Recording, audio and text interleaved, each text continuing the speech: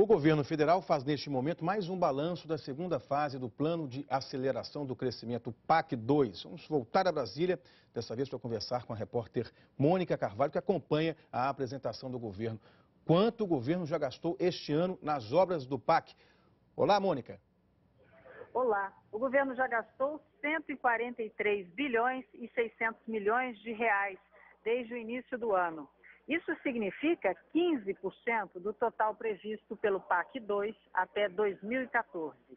O ritmo de início das obras do PAC 2 acelerou entre o primeiro balanço, que foi em junho, e o segundo balanço, que está sendo divulgado hoje e que corresponde até o fim de setembro.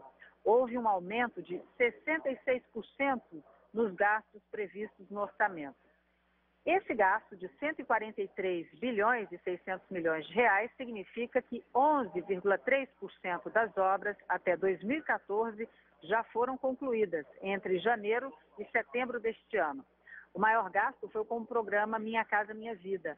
E o segundo maior gasto foi com obras de saneamento e prevenção em áreas de risco, com obras de drenagem, que significa o escoamento de água da chuva, por exemplo.